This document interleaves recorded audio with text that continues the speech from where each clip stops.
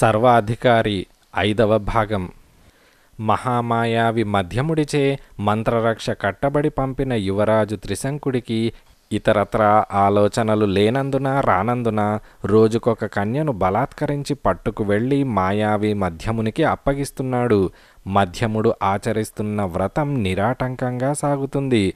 త్రిశంకుడి వంటి వీరుడు తనకు సహాయకారిగా ఉండడంతో మధ్యముడిలో గర్వం మరింత ఎక్కువైంది. అతను చేస్తున్న సహకారానికి అతన్ని మించిన శిష్యుడు మరి లేడనిపించింది. దీక్ష నిరాటంకంగా సాగుతున్నది. తను చేస్తున్నది దారుణమని త్రిశంకునికి అనిపించలేదు. అందుకు కారణం అతనికి ఇతరత్ర ఆలోచన లేకపోవడమే. నాటికి సరిగ్గా ముప్పై తొమ్మిది మంది కన్యలను మధ్యముడు దేవికి బలిచ్చాడు. ఆనాడు పట్టుకు వెళ్ళబోయే కన్య నలభైవ కన్య. త్రిశంకుడు అమితోత్సాహంతో కన్యాపహరణం కోసం కృషి చేస్తున్నాడు. అతనికి ఎక్కడా ఆనాడు కన్య దొరకలేదు. ఏం చేయాలని నది ఒడ్డున కూర్చొని తీవ్రంగా యోచిస్తున్నాడు.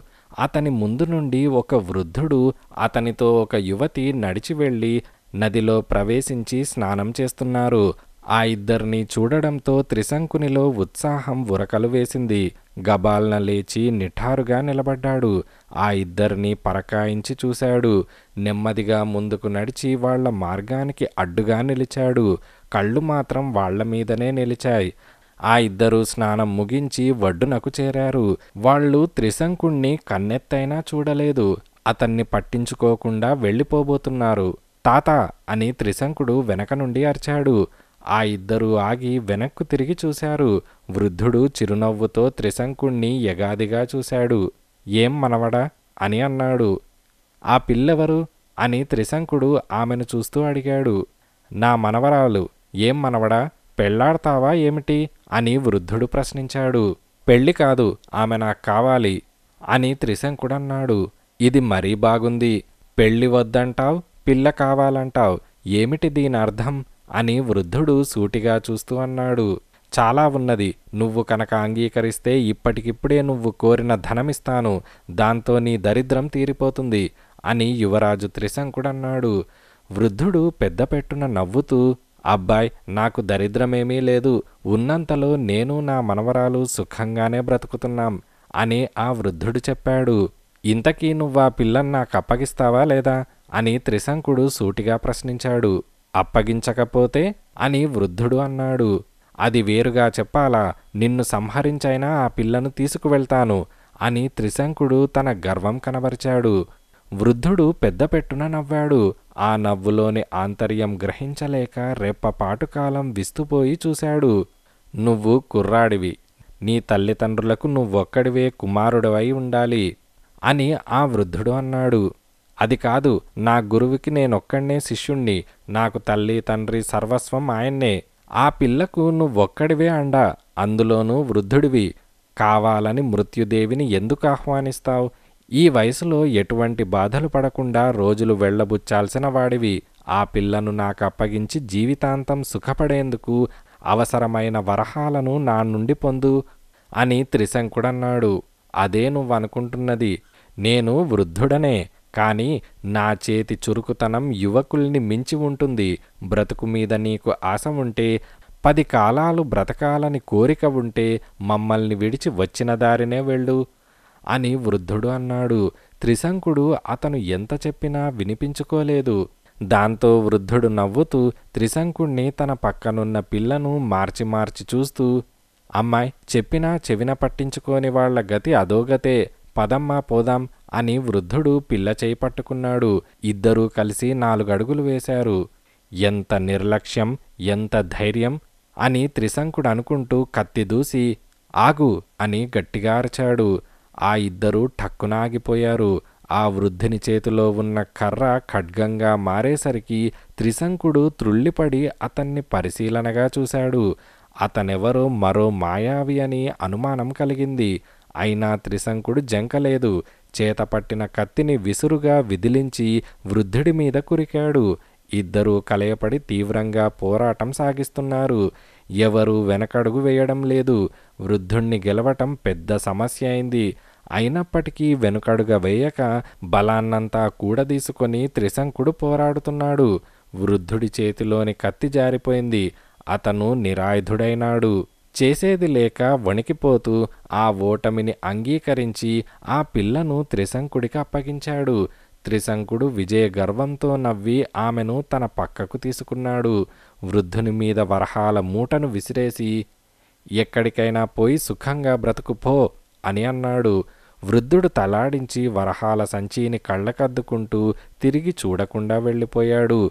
త్రిశంకుడు చేజిక్కించుకున్న పిల్లను వెంటబెట్టుకొని మాయావి గుహకు వెళ్ళి మాంత్రిక మధ్యముడికి అప్పగించాడు. మధ్యముడు మిక్కిలి ఆనందించి నిజమైన శిష్యుడివంటే నువ్వేరా అంటూ అతని భుజం మీద చెయ్యి ఉంచి ఆప్యాయంగా ఒత్తాడు. అప్పటికే ఆమెను దేవికి బలివ్వడానికి అన్నీ సిద్ధం చేశాడు. గండ్రగొడ్డలి పైకెత్తి ఆమె తలను నరకబోయేటప్పటికీ ఆ పిల్ల ఆడ మగ కాని నపుంసకుడిగా మారి తనన్ను చంపవద్దని పెద్దగా అరిచింది మధ్యముడు త్రుళ్ళిపడి ఆమెను చూశాడు. నపుంసకుడిగా మారిన ఆ పిల్ల అప్పటికప్పుడే ఒక గాడిదగా మారి పెద్ద పెట్టునారిచింది. చేతిలోని గండ్రగొడ్డలి అవతల పడేశాడు. ఆగ్రహావేశాలతో అవతలగా నిలబడిన త్రిశంకుణ్ణి కళ్ళు పెద్దవి చేసి కఠినంగా చూసి ఏమిట్రా ఈ మోసం? అని అడిగాడు. త్రిశంకుడు తనకు తెలియదని వృద్ధుణ్ణి గురించిన సంగతి చెప్పాడు. మాంత్రిక మధ్యముడు ఆలోచించాడు. ఆ వెంటనే మంత్రశక్తితో వృద్ధుణ్ణి గురించి గ్రహించాడు. ఆ వృద్ధుడు సామాన్యుడు కాదు. నా దీక్షను సాగకుండా చేయటానికి బ్రహ్మ విష్ణు మహేశ్వరులచే పంపబడిన ఇంద్రుడు. జిత్తుల మారి నక్క నిన్ను మోసగించి ఈ గాడిదనంటగట్టాడు అని మాంత్రిక మధ్యముడన్నాడు. గురు ఎవరు ఎందుకు వచ్చారో నాకు తెలిస్తే అక్కడనే తగిన గుణపాఠం చెప్పి వాడి తలను మీ కాళ్ళ దగ్గర పడేసేవాణ్ణి. అది తెలియదు కనుకనే మోసపోయాను అని త్రిశంకుడు చెప్పాడు. నీవు ఆ తుంటరిని జయించిన మాట నిజం కావచ్చు. అందుకే వాడి ఆధీనంలో ఉన్న ఈ గాడిదను పిల్లననుకొని తీసుకువచ్చావు. ఇంద్రుణ్ణే గెలిచిన నీ శక్తి సామాన్యమైనది కాదు అది నాకు తెలుసు అని మధ్యముడన్నాడు. ఇదంతా తమ ఆశీర్వచన ప్రభావం గురు అని త్రిశంకుడు తలవంచి అన్నాడు. ఒరేయ్ అయితే ఇప్పుడే ఆ గాడిదను బంధించి ఉంచుతాను. నువ్వెళ్ళి మరో కన్యను వెంటనే పట్టి తేవాలి. ఆ పని ఇప్పుడు జరగకపోతే దీక్ష కుంటుపడుతుంది అని మధ్యముడన్నాడు. గురు దుర్భిణిలో కన్యను చూపించండి. అది ఎక్కడున్నా పట్టి బంధించి తీసుకువస్తాను అని త్రిశంకుడన్నాడు. మధ్యముడు త్రిశంకుణ్ణి వెంట తీసుకువెళ్ళి దుర్భిణి యంత్రంలో చూపించాడు. అందులో ఒక అందమైన కన్య ఊయల ఊగుతూ కనిపించింది. గురు ఎవరి కన్య? అని త్రిశంకుడు ప్రశ్నించాడు. మధ్యముడు చిన్నగా నవ్వుతూ అవతలగా శిలారూపంలో ఉన్న వికృతాకారంను చూశాడు. శిష్యుడడిగిన ప్రశ్నకు సమాధానం చెప్పు బేతాల భార్గవ! అని అన్నాడు. వికృతాకారం నవ్వుతూ విదర్భనగర మహారాజు జనార్దన్ కుమార్తె పేరు కాంతిమతి అని ఆ విగ్రహం చెప్పింది అని బేతాల భార్గవుడు చెప్పాడు. విదర్భనగరం అని చెప్పిన త్రిశంకుడు పట్టించుకోలేదు. మంత్రవాది కట్టిన రక్ష కారణంగా గతాన్ని మర్చిపోయాడు. ఆమె అందాన్ని కళ్ళార్పకుండా చూస్తున్నాడు. ఎలా ఉందిరా ఈ కన్యారత్నం? అని మాయావి మధ్యముడు మీసం మెలివేస్తూ అడిగాడు. చక్కగా ఉంది గురు వెంటనే చిక్కించుకొని బలికి తీసుకువస్తాను అని దుర్భిణిలో చూస్తూనే అన్నాడు. తక్షణం వెళ్ళిరా అని దుర్భిణి యంత్రం వైపు చేతిని ఆడించాడు. త్రిశంకుడు మంత్రవాది వద్ద సెలవు తీసుకొని అప్పటికప్పుడే బయలుదేరి విదర్భ నగరం వెళ్ళాడు.